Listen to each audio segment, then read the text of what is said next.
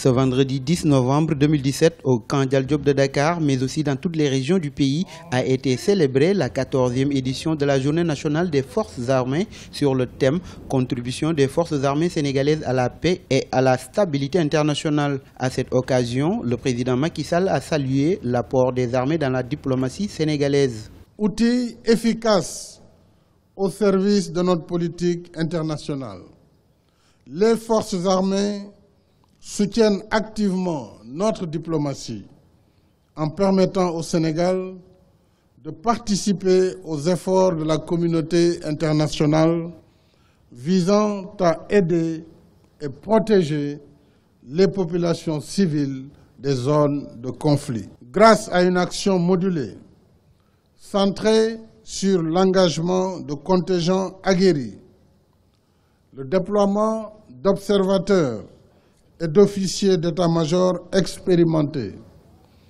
La mise à disposition de hauts cadres, dont six officiers généraux, commandants de force et un conseiller militaire auprès du secrétaire général des Nations Unies, nos vaillants Djambar ont su bâtir et conserver une excellente réputation.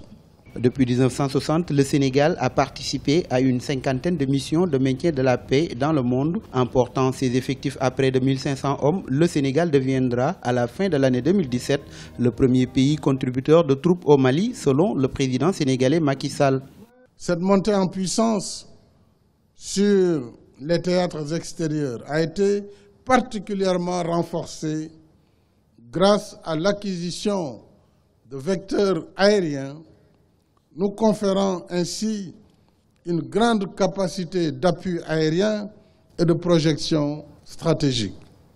Aujourd'hui, le Sénégal est présent sur huit théâtres d'opération extérieures avec un effectif de 3241 personnels L'État du Sénégal a dépensé 130 milliards de francs CFA pour faire participer ses soldats à huit opérations extérieures. Lors de cette journée, le président de la République Macky Sall a réitéré son engagement à poursuivre inlassablement les efforts d'amélioration de la condition militaire.